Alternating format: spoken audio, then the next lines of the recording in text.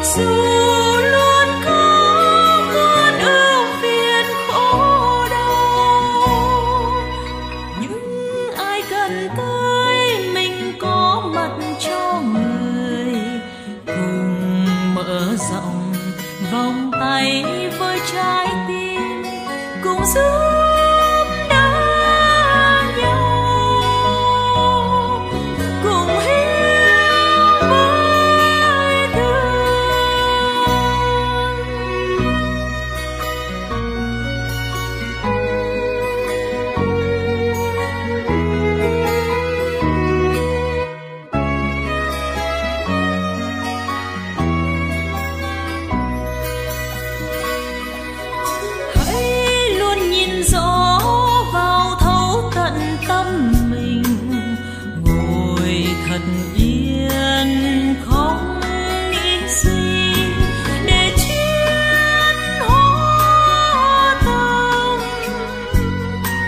và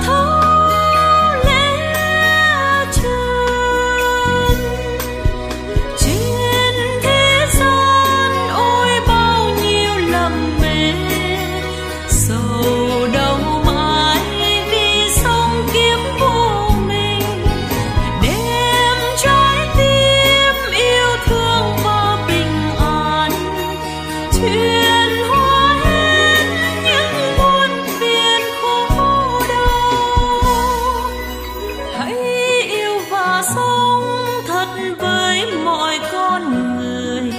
Dù cuộc đời